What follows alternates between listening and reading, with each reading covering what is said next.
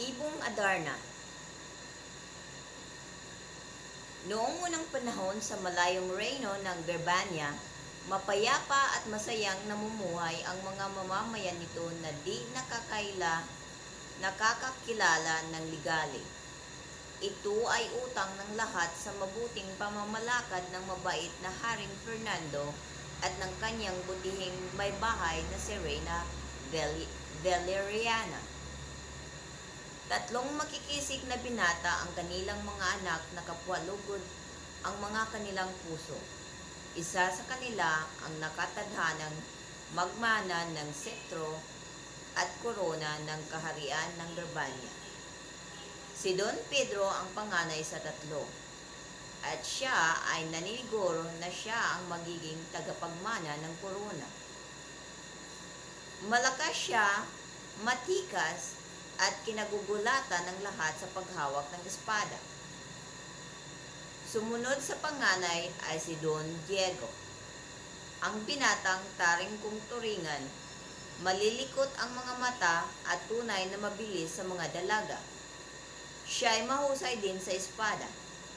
At ang bunso ay si Don Juan na bagamay mahiyain at may katangiang mababang loob ay tunay na kaakit-akit at itinitibok ng puso ng mga kadalagahan sa buong sakop ng kaharian.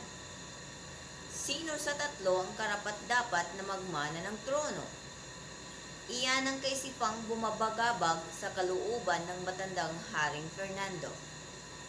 Sa labis na pag-iisip na iyon, at dahil na din sa katandaan, marahil ay naratay ang hari sa isang di may paliwanag na pagkakasakit.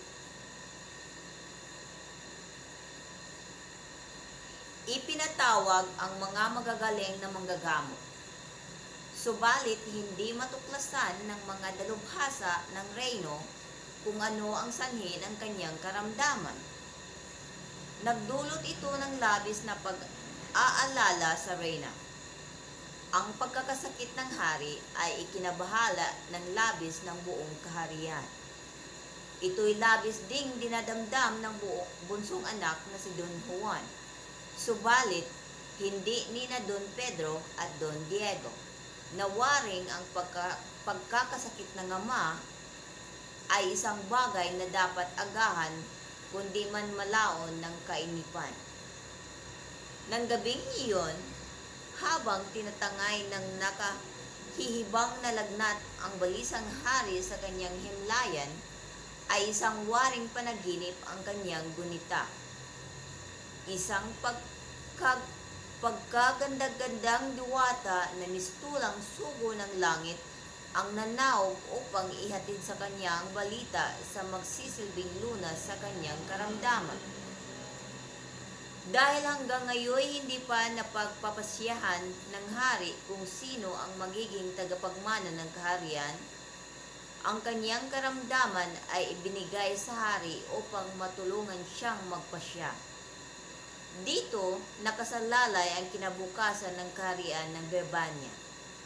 Kung sino man sa mga anak ng hari ang makapagpagaling ay siyang karapat-dapat na maging tagapagmana ng setro at korona.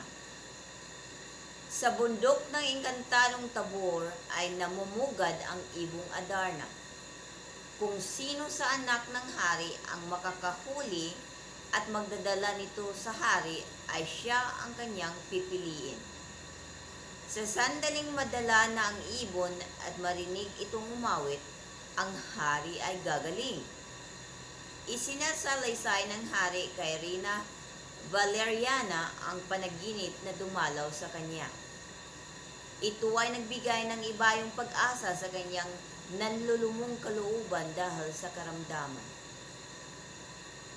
At hindi nga nagtagal ay gumayak na si Don Pedro upang patunayan sa lahat na siya ang tunay na tagapagmana ng setro at korona Ipinagbubunye ng buong lugod ng mga mamamayan ang paglisan ni Don Pedro upang hanapin ang, ang ibong Adarna. Ang lahat ay umasang magtatagumpay ang prinsipe sa pagkuha ng lunas na magpapagaling sa minamahal nilang hari.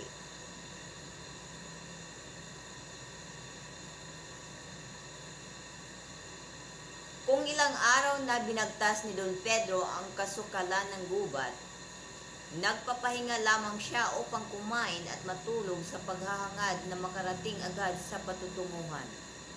Nang sapitin niya ang rumaragsang ilog ay lalo siyang nagsikap na iyon ay matawid. Sa kabilang pampang, naroon ang bundok tabor na kanyang hinahanap. Inaakyat niya ang matarik na daanan ng bundok tabor. Abot-abot ang kanyang hingal nang sapitin niya ang tuktok ng bundok. Kasalukuyang pinapawi niya ang matinding niyang gutom nang may dumating na isang matanda at humihingi sa kanya ng pagkain. Hindi niya ito binigyan ng pagkain. Pinasok ni Don Pedro ang kakahuyan ng bundok Tabor. Unti-unti nang lumatag ang kadiliman ng matanawan ni Don Pedro ang isang kakaibang puno. Lumalalim ang gabi at nabagot sa paghihintay ang prinsipe hanggang sa siya ay dalawin ng matinding antok. Nang sumapit ang hating gabi ay nakatulog na si Don Pedro at hindi niya naulinigan ang pagaspas ng mga pakpak ng ibong Adarna na patungo sa punong pinagkakalungan niya. Dumapo ito sa sanga ng puno sa ibabaw ng tinutulungang lugar, tinutulugang lugar ni Don Pedro. Nang matiyak ng ibong Adarna na natutulog si Don Pedro, ay nagsimula itong umawit ng buong lambing. Makapitong ulit umawit ang ibong Adarna at sa lambing ng mga awit ay humanda ang ibong Adarna upang matulog, subalit ito ay dumumi muna at sa ilalim ng puno ay napatakan ng dumi ng ibon ang naghihimbing na prinsipe. Noon din ay naging bato si Don Pedro at buong tiwasay na natulog ang ibong Adarna na para walang nangyari. Lumipas ang marami pang mga araw at sa palasyo ay ipinatawag naman ni Haring Fernando si Don Diego Dinatnan naman ni Don Diego ang kanyang inang Reyna at amang hari na naghihintay. Sinabi ni Haring Fernando na ilang araw nang wala si Don Pedro, kaya siya ay nangangamba na baka hindi ito nagtagumpay. Kaya naman kay Don Diego na ngayon nakasalalay ang kanyang kaligtasan. Buong puso naman na sumunod ang prinsipe sa hari. Naglakbay noon din si Don Diego sa kasamaang palad ay sinapit din niya ang nangyari kay Don Pedro at naging batuid din. Nabigo na naman ang hari na magamot ang kanyang karamdaman. Si Don Juan ay labis na, na nag-alala sa kanyang mga kapatid. Ipinasya niyang dumulog sa kanyang amang hari at nagpapaalam na siya naman ang maglalakbay. Aalamin niya kung ano ang nangyari sa kanyang mga kapatid at para mahuli at maiuwi na din sa palasyo ang ibong Adarna.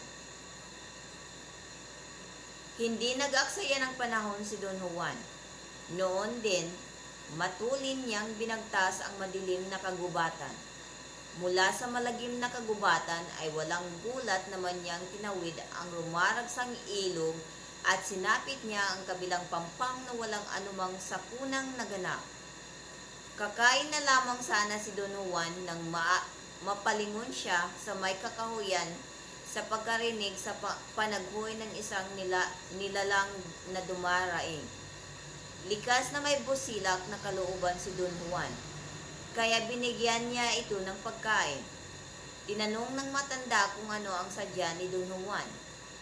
Sinabi niya ang dahilan ng kanyang paglalakbay, na hinahanap niya ang kanyang dalawang kapatid at ang ibong Adarna, na siyang tanging lunas sa kanyang amang may karamdaman. Nang malaman ng matat matanda ang kanyang pakay, mahigpit na itong nagbilin. Bago mo panghasan ang paghuli sa ibong Adarna, ay makipagkita ka muna sa ermitanyo na naninirahan sa isang kuweba sa bundok ng Tabor.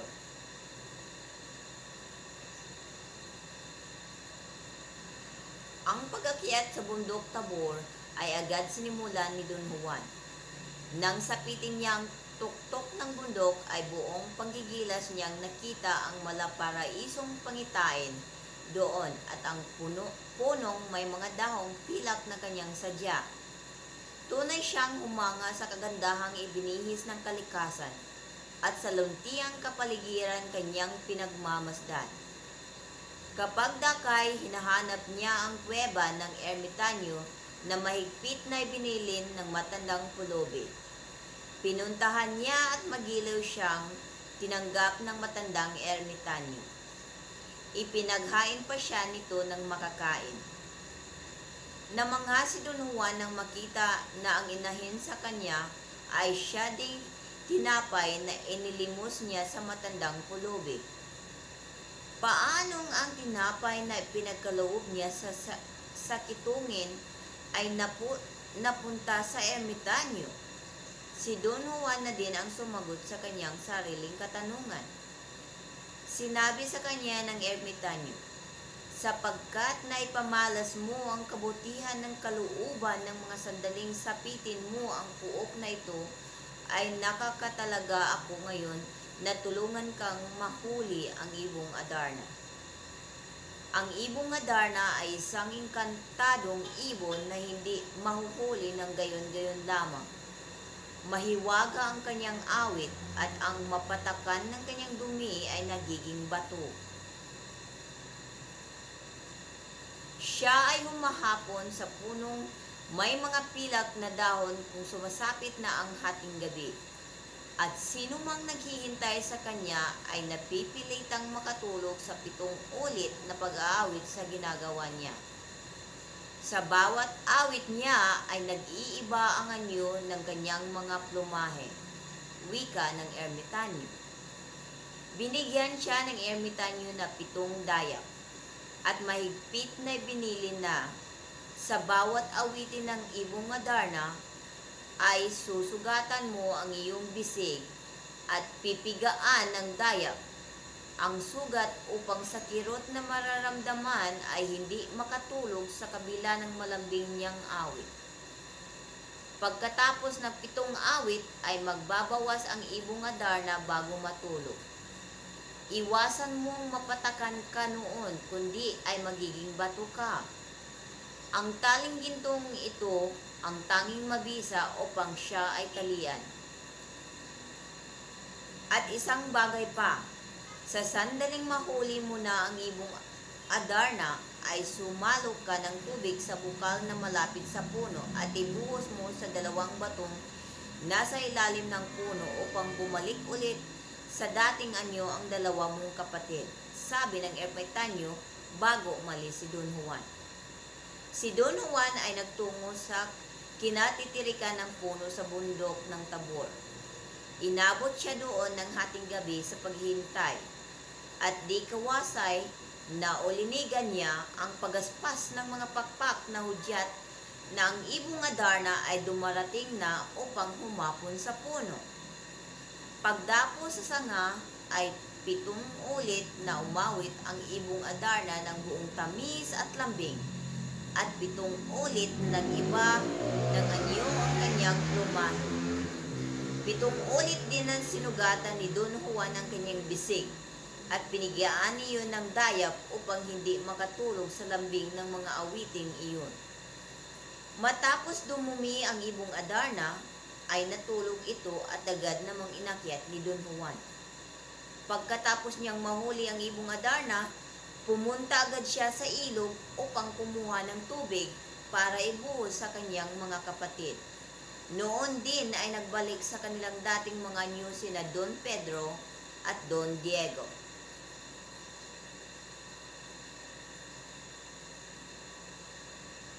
Gayon na lamang ang tuwa ni Don Juan nang muling makita ang kanyang mga kapatid. Ipinaliwanag ni Don Juan ang buong pangyayari sa dalawang kapatid. At noon din ay pinagharian ang kanilang mga puso ng matinggi, matinding inggit. Nang, nang magbukang liwayway, tinungo nila doon ni Don Juan ang kuweba ng ermitanyo upang magpasalamat at magpaalam. Sila ay pinakain ito at ginamot din ang mga sugat ni Don Juan. Pagkapahinga ay pinauwi na sila ng ermitanyo at pinayuhang walang manluloko o magtataksil isa man sa kanila. Hindi sumunod sa ermitanyo ang dalawang prinsipe na si Don Pedro at si Don Diego. Si Don Juan ay walang awang pinagtulungang bugbugin ng magkapatid na pinaghaharian ng inggit at pag-iimbot.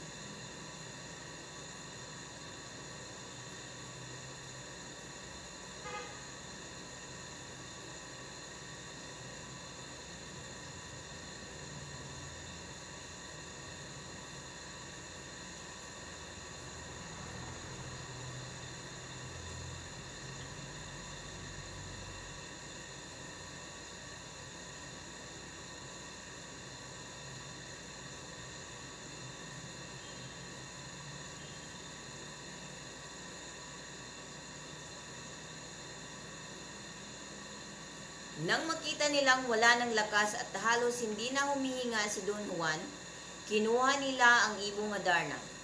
Iniwan ng dalawa ang inaasahan nilang mamamatay na si Don, Don Juan at matulin silang nagbalik sa kaharian ng Berbanya. Isang mabunyeng pagsalubong ang inukol ng mamamayan ng Reno ng Berbanya. Sa dalawang animoy mga bayaning nagbalik, Ngunit pagdating nila doon ay lulugo-lugo na ang ibon at ayaw nitong umawi. Sinabi ng ibong Adarna na aawit lamang siya sa harap ng tunay na nakahuli sa kanya. At ito ay si Don Juan na binugbog ng dalawang kapatid na prinsipe. Si Don Juan naman ay halos di makatayo sa kanyang kalagayan dahil sa natamo niyang matinding pambubugbog Kaya't siya ay matimtim na nanalangin sa Berheng Maria upang siya ay tulungan.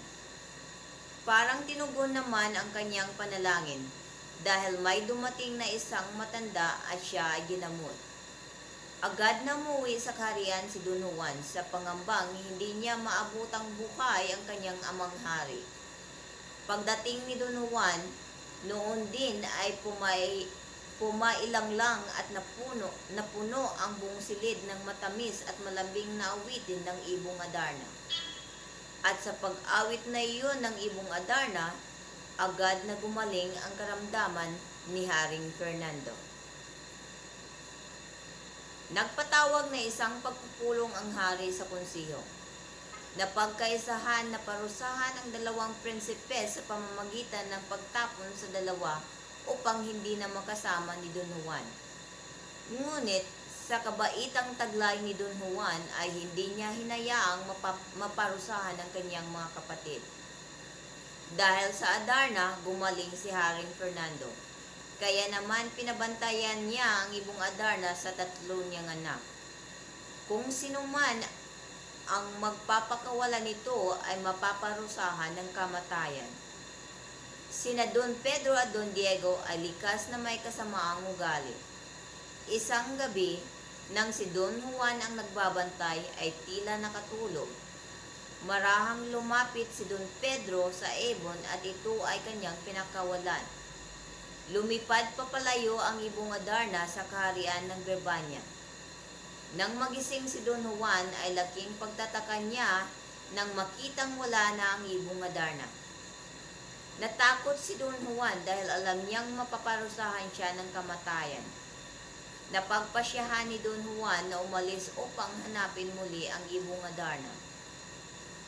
Nang magising si Haring Fernando, nakita niyang wala na sa hawla ang ibong Adarna. Tinanong niya si Don Pedro at Don Diego kung sino ang nagpapaka, nagpakawala sa Adarna. Ang isinigot ng dalawa ay si Don Juan. Akala ng dalawa ay naisahan na nila ang kanilang bunsong kapatid. Ngunit dahil sa nawawala si Don Juan, ay agad inutos ng amang hari sa kanila na hanapin si Don Juan. Nang matagpuan nila si Don Juan sa bundok ng Armenia, napag-isip-isip ni na Don Pedro at Don Diego na kung isasama nila ang kapatid, kay Haring Fernando ay tiyak na malalaman nito ang totoong nangyari. Kaya naman, kinumbinsin nilang dalawa na manirahan na lamang silang magkakapatid sa bundok ng Armenia. Doon ay wari wala silang lungkot na dinaranas. Kung wala sila sa batis, sila ay nasa bukid. Isang araw ng paglalakbay, nakakita sila ng balon, ng balon, balon. Gusto ni Don Juan na maabot ang ilalim ng balon. Dahil si Don Pedro ang panganay ay siya ang nangungunang bumaba. Dahan-dahan siyang nagpatihog sa ilalim ng balon. May tatlong po di pa pa lamang ang lalim at habang inabot ang kalaliman nito, binatak na niya ang lubid. Ito ang hudyat na siya ay hilahin na paitaas ni Don Diego at Don Juan. Sumunod naman si Don Diego, ngunit nakakatatlong di pa lamang ay mahon na siya.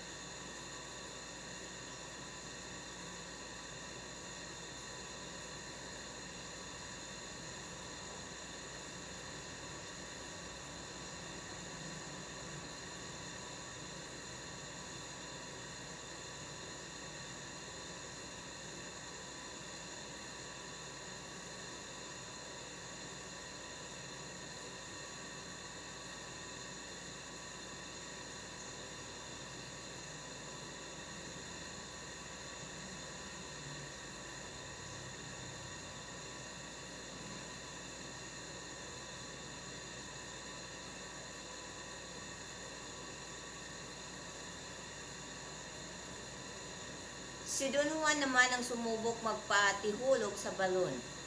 Narating niya ang pinakamababang bahagi ng balon at kinalag niya ang tali upang siya ay maglakad. Namangha siya sa puok na kanyang nakita at nabighani nang makita niya si Doña Juana. Iniligtas niya ito mula sa kamay ng higanting nagbabantay dito.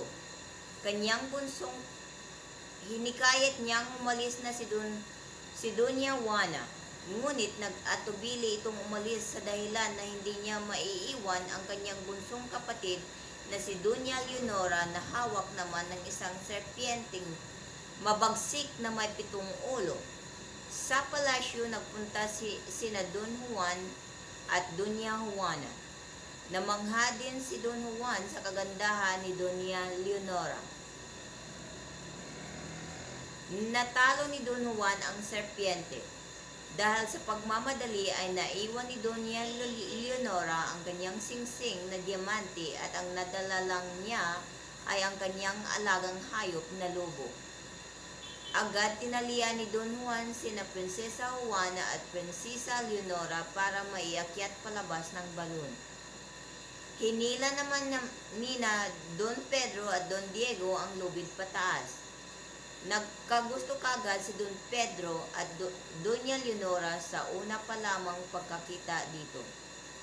Paalis na sila nang maalala ni Doña Leonora ang naiwan niyang singsing na diamante. Nagkusang loob si Don Juan na kunin ang singsing. Muli siyang bumaba sa, bal sa balon. Ngunit sampung di pa pa lamang siyang nakakababa ay gad nang pinutol ni Don Pedro ang lubid. Nalungkot ng labis si Doña Leonora sa nang, nangyari kay Don Juan. Nang sila ay alis na, pinagbilinan niya ang kanyang alagang hayop na lobo na tulungan nito si Don Juan. Nakarating ng maayos sina Don Pedro, Don Diego, Doña Juana at Doña Leonora sa kaharian ng Berbanya. Ikinasal si Don Diego kay Doña Juana, samantalang si Don Pedro naman ay nabigo ang pag-ibig kay Dunya Leonora. Nakarating ang lobo sa kinaroonan ni Don Juan at ginamot nito si Don Juan. Kinuha ni Don Juan ang singsing ni Doña Leonora at umuwi na ito pabalik ng Berbanya. Sa paglalakad ni Don Juan, siya ay napagod. Nagpahinga siya sa isang punong kahoy at nakatulog. Siya namang pagdating ng ibong Adarna Dumapo sa puno at nagsimulang kumanta. Ayon sa kanyang kanta, si Don Juan ay naalala ni Doña Leonora. Ngunit mayroon pang mas maganda kay Doña Leonora. Ito ay si Doña Maria Blanca na anak ni Haring Salermo ng karian ng Dilos Cristal. Si Doña Maria ay maipagkakapuri ni Don Juan sa kanyang amang Haring Fernando, sabi ng pag-aawit ng Ibong Adarna.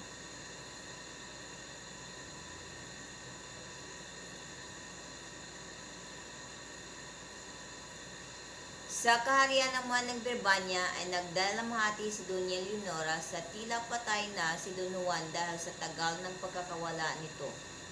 Samantala, si Don Juan ay limang buwan nang naglalakbay. Sa kanyang paglalakbay ay nakita niya ang isang ermitanyo na hanggang baywang ang balbas. Binigyan ni Don Juan ang matanda ng kapirasong damit. Nagulat ang ermitanyo pagkakita sa damit. Sabay sabi nitong, Jesus na Panginoon ko, isang galak ko na itong pagkakita sa baro mo. Ipinaliwanag ni Don Juan sa ermitanyo kung anong dahilan at siya naparoon sa lugar na iyon. Ayon sa kanya, hinahanap niya ang kaharian ng Dilos Cristal, ngunit wala namang nakakakalam kung saan ito. Sinabi ng ermitanyo na magpunta siya sa ikapitong bundok na kinaroroonan ng isang matandang ermitanyo at dooy magtanong. Nang makarating na siya sa matandang ermitanyo, tinanong niya kung saan makikita ang kaharian ng Dilos Cristal. Ngunit hindi din alam nito kung saan matatagpuan iyon. Kaya tinanong ng ermitanyo ang kanyang mga alagang ibon at isang agila. Sinabi ng agila kung saan matatagpuan ang kaharian. Laking tuwa ni Don Juan dahil makikita na niya ang kaharian ng Dilos Cristal at higit sa lahat si Doña Maria Blanca na may higit na kagandahan. Sumakay si Don Juan sa likod ng agila at sila ay lumipad na. Narating nilang kaharian ng Dilos Cristal. Sinabi ng agila kay Juan na huwag kakalimutan ang kanyang bilin.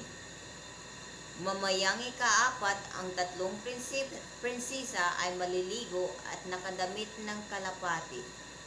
Ikaw ay magtago at huwag magpapakita, pagkasabi ng kanyang habilin. Lumipad ng agila. Iniwan na sa kaharian ng Dilos Cristal si Juan. Dumating ang tatlong prinsesa sa oras na binanggit ng agila. Ang kagandahan ni Doña Maria ay talagang kaakit-akit. Sabay-sabay na naligo ang tatlong prinsesa. Habang naliligo, lumalabas ang kapilyuhan ni Don Juan at tinago ang damit ni Doña Maria. Pagkaraan ng ilang sandali, natapos na sa paliligo ang tatlong prinsesa at nagsimula ng magbihis ngunit hindi makita ni Doña Maria ang kanyang damit. Kaya siya ay nagalit. Pagkaraan ng ilang sandali, lumabas na si Don Juan. Sabay lumuhod sa harap ni Doña Maria. Kaagad sinabi ni Juan ang kanyang pag-ibig kay Maria. Pinatayo siya ni Doña Maria Juan at marahang sinabihan ito na tingnan niyang mabuti ang mga batong nakabakod sa palasyo. Ang mga iyon ay ang mga taong naengkanto ng kanyang ama, mga prinsipe, kabalyero at konde. Naging bato sila dahil hindi sila nakatupad sa inaatas ng kanyang amang hari. Sinabi ni Maria kay Juan, Mamayang ikalima, ang aking ama ay magigising at ikaw ay makikita. Kapag tinanong ka kung ano ang sadya mo dito, sabihin mong hihingin mo ang kamay ng isa sa mga prinsesa. Kapag niyaya kang pumanik sa palasyo, ay tumanggi ka sapagkat mamamatay ka. Kung ikaw ay magpapatuloy, kahit na ano ang ipagagawa sa iyo ng aking ama ay tanggapin mo. Ako ang bahala.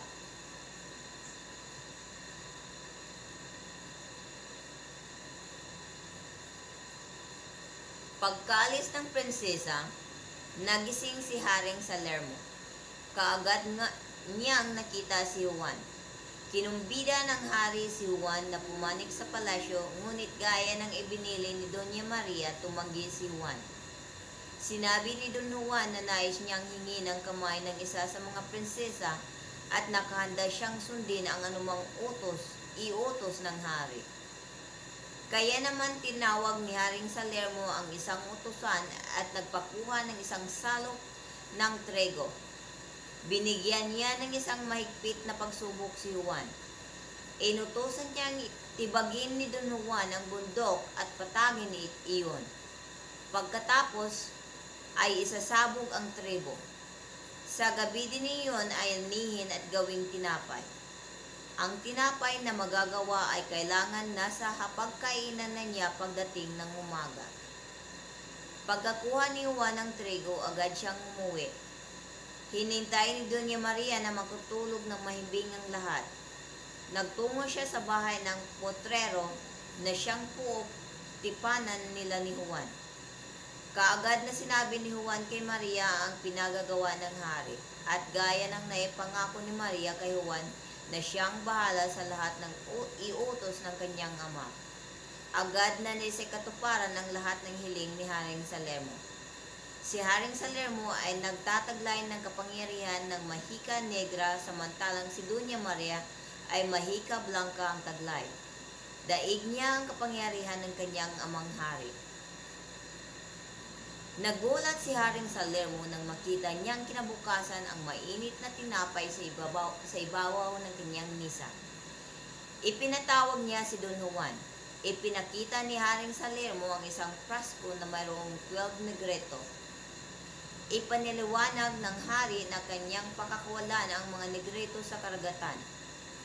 Ang mga pinakawalang mga negreto ay kailangan niyang hulihing isa-isa hanggang kinabukasan sa isip-isip ng hari, mahihirapan si Don Juan.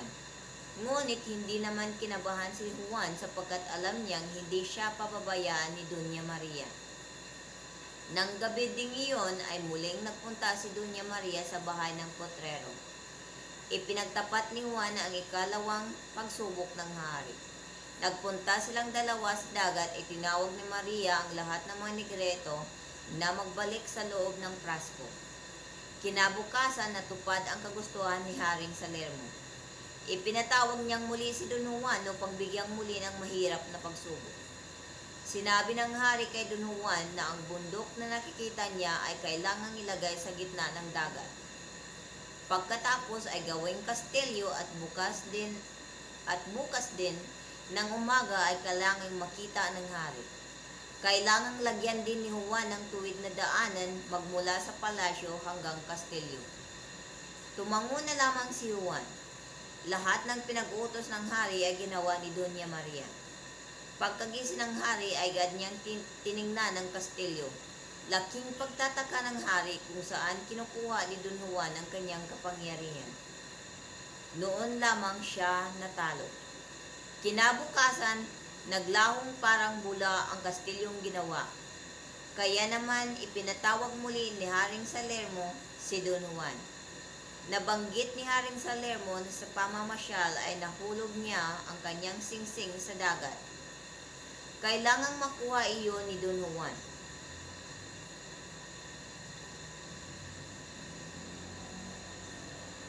Ang tanging parang ginawa ni na Maria at Juan ay tatarin ng katawan ni Maria.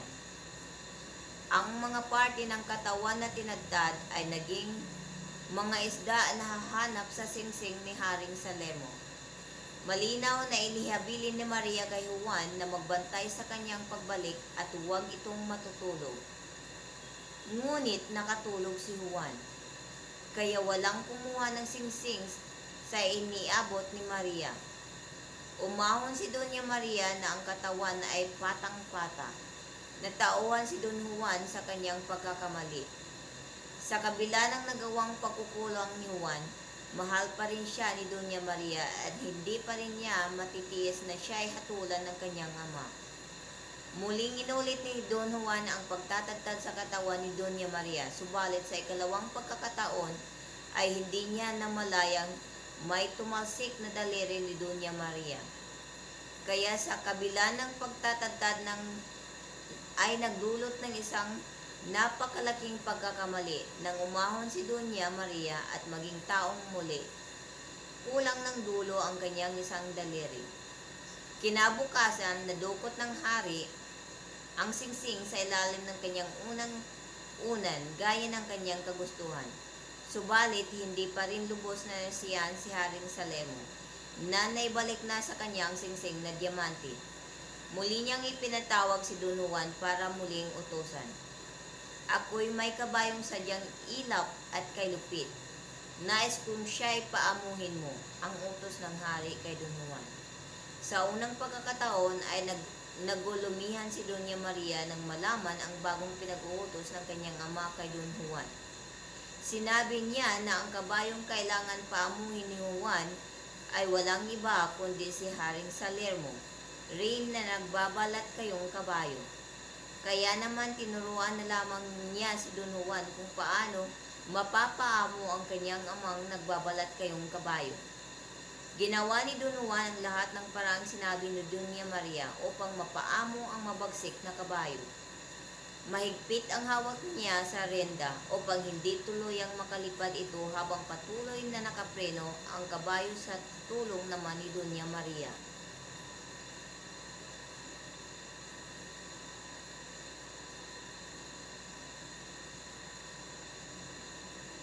Kinaumagahan ay pinatawag ni Haring Salermo si Don Juan. At hindi ang kagandahan ng mga ito. Kinaumagahan ay pinatawag ni Haring Salermo si Don Juan. Masasakit ang katawan ng hari pero panahon na upang ipagkalo- ipagkaloob niya ang isang anak sa prinsipe. Ang sabi ng hari kay Don Juan ay yamang na isakatuparan mo ang lahat ng inutos ko. Mamili ka ngayon sa aking tatlong anak. Sinamahan ng hari si Don Juan sa tatlong kwartong magkakatabi at sadyang may tablang inilapat na may butas na tanging hintuturo lamang ng bawat prinsesa ang makikita ni Don Juan at hindi ang kagandahan ng mga ito. Agad namang pinili ni Don Juan ang kamay ni Doña Maria na, na may palatandaan ng kanyang nagiging malaking pagkakamali. Nagalit ang hari sa dahilang si Doña Maria ay ang kanyang paboritong anak. Kaya naman bin, binalak niyang ipatapon si Don Juan sa Inglaterra para sa kapatid nito siya ipakasal. Pero mabilis na nagta- nagtanan si Doña Maria at Don Juan. Dahil sa galit ng hari, isinumpa niya si Doña Maria. Ikaw nawa ay malimutan ni Don Juan. Ikaw ay kanyang pababayaan at pakakasal siya sa iba. Sumpang naulingan ni Doña Maria kaya't labis ang kanyang pag-alala. Nang magpasya si Don Juan na iwanan muna siya para magtungo sa palasyo. Kaya naman mahigpit siyang nagbilin na huwag titingin at lalapit si Don Juan sa sinumang babae sa palasyo upang hindi siya magawang limutin ito. Hindi na nakita ni Haring Salermo ang katuparan ng kanyang sumpa. Siya ay nagkasakit dahil sa matinding dalamhati na naging dahilan ng kanyang pagkamatay. At nagbalik nga ang kaharian ng Berbanya, si Don Juan upang hi- hingin ang bendisyon ng amang hari. Ang sabik at matagal nang naghihintay na si Doña Leonora ay lumapit kay Juan. Dahil dito, iglap at nakalimutan si, ni Don Juan, si Don Juan sa kanyang binitiwang pangako kay Doña Maria. Isang katuparan ng sumpa ni Haring Salermo. Hindi nagtagal ay tinakda ang kasal ni na Don Juan at Doña Leonora. Samantala, natuklasan na ni Doña Maria ang kataksilan ni Don Juan dahil sa gagawing pagpak pagpapakasal sa ibang prinsesa. Nag-alimpuyo sa galit ang kanyang dibdib. Lulan ng karusang ginto, nagpanggap na emperatriz Emperatres si Doña Maria upang dumalo sa kasal nila Don Juan at Doña Leonora. Nang dumating si Doña Maria na nakabihis Emperatres, namangha ang lahat. Maganda ang gayak ni Maria at litaw ang kanyang kagandahan.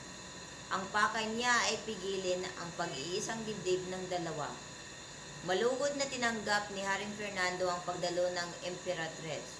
Subalit hindi nakilala ni Don Juan na ang Emperatres ay walang iba kundi si Doña Maria.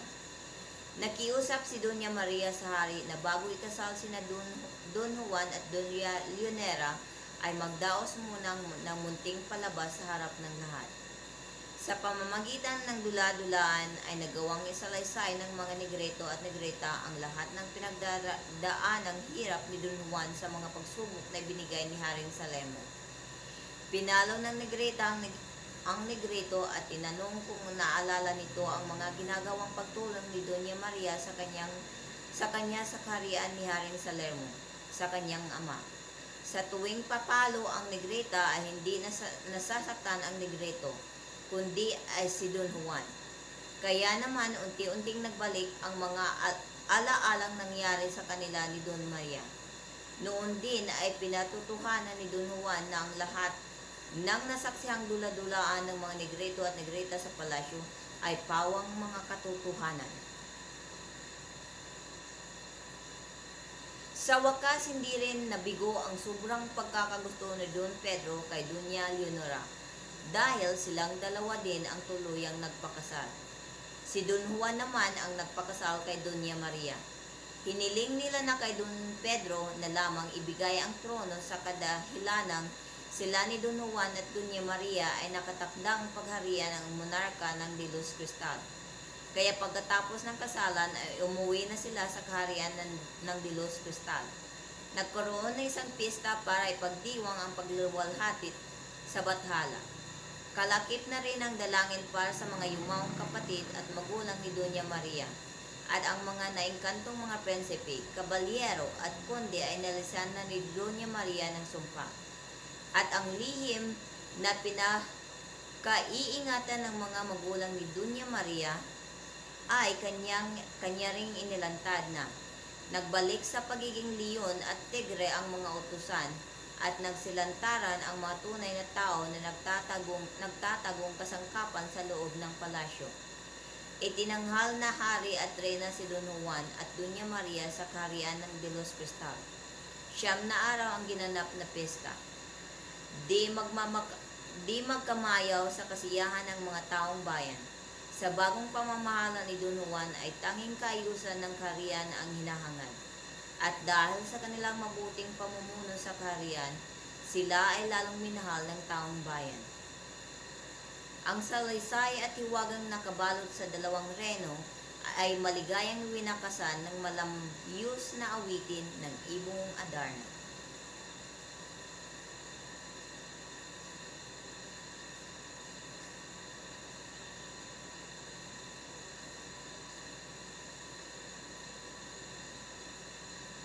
The end.